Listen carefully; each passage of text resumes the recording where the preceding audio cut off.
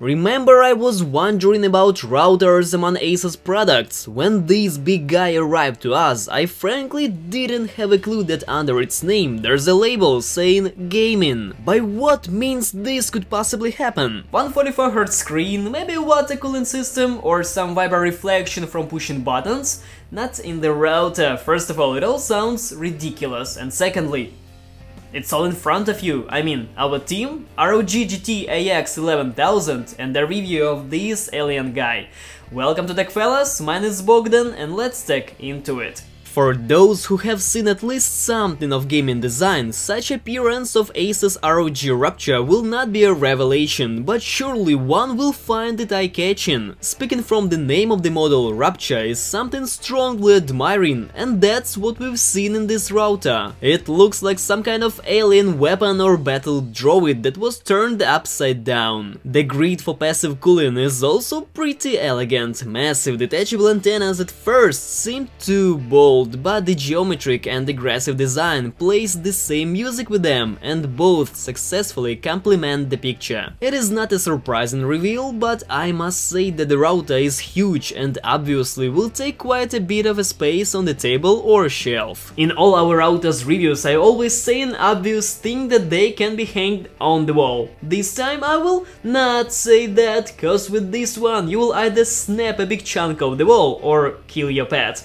In both cases you will have to buy a new router, definitely. Besides the cyberpunk style, the body of this spider bot contains a row of Ethernet ports, 4 local gigabit ports with aggregation support, 1 WAN and one more Ethernet for 2.5 gigabits per second. It can be used both with LAN and WAN connections, but we couldn't test that simply because our local internet service providers do not offer that level of speed. Say if you think that without 2.5 gigabits it is impossible to win PUBG round, Rapture is ready to cook that chicken dinner for ya.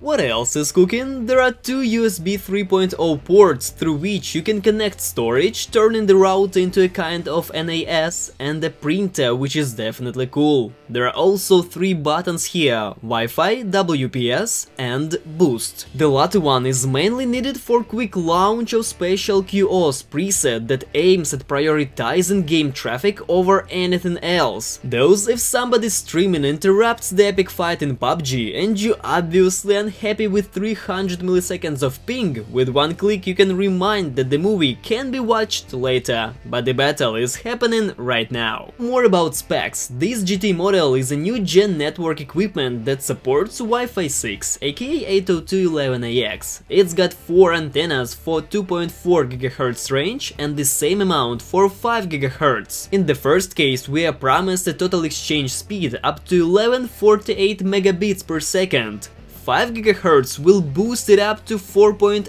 gigabits, which is about any dreams. Our improvised test setup consisted of MacBook connected to gigabit port and StudioBook W730G as a laptop that deals with Wi-Fi 6. In fact, all our tests were restricted by mentioned gigabit port, however when connected to 5 GHz the network speed was pretty close to it. Even in the same room where one out of 5 routers somehow gets the signal signal, we felt no terrible speed losses from Rapture even upon 5 GHz frequency, which in theory is more sensible to obstacles. I would also like to note a very high signal power, the router is not designed for the stadium, but for the big house it is for sure. When it was set up in 3 room apartment, it filled up the ether that much, so I could no longer access the internet through regular home router. In general, if you're not a gamer, but you want maximum power and signal density, you know what to spend your money on. Let's jump into the main features of Rapture's admin panel and its gaming chips. First of all, it is a tri-band router and it can roll two separate 5 GHz networks. This is done in order to single out one of them, for example purely for gaming, which in principle doesn't sound so stupid. Further, you can cut bandwidth of other networks, however not touching the gaming one for instance, and this is only a tip of the iceberg. On the main screen you can not only see the main data, but also adjust the backlight. Actually, what you're seeing now is Aura RGB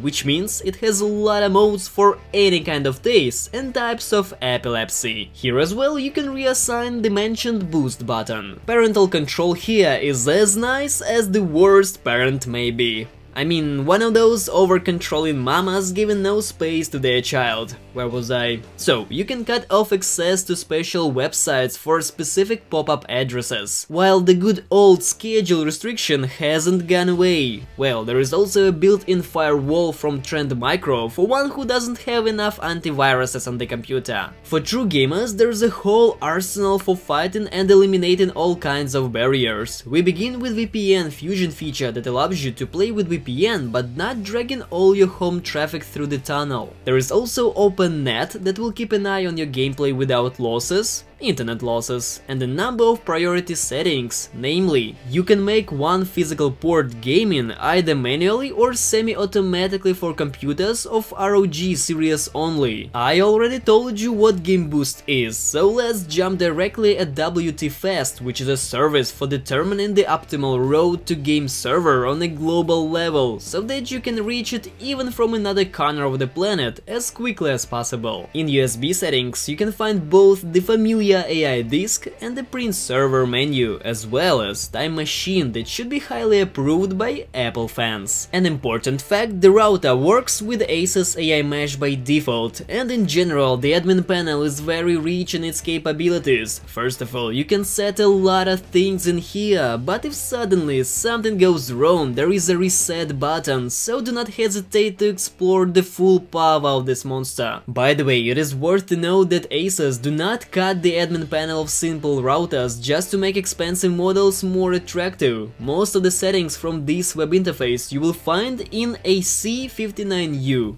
Don't be afraid to check this card leading to its review, where I already set the timecode for jumping right into its setting panel. Summarizing the stuff, ROG Rapture GT-AX 11000 costs 450 bucks, and it's quite a lot. Does it sound too much as for Wi-Fi 6 that is just entering the mass market? Also, for 2.5 gigabit Ethernet port, for 8 replaceable antennas, stable signal, and frankly speaking, a whole mountain of gaming chips, setting of which does doesn't require neither to be a genius nor having any experience in this field? Not really, if you know what potential it can give you, but is it the first need network device? Certainly neither. At least I can say that this is one of the most pumped up routers on the market. And this is it for today. I will leave a couple of links to the stores where you can buy this guy in the description box below. And if you like this video, then why not to support our channel by subscribing to it, hitting the like button and ringing the bell to stay tuned for more cool content. My thanks for watching and cheers!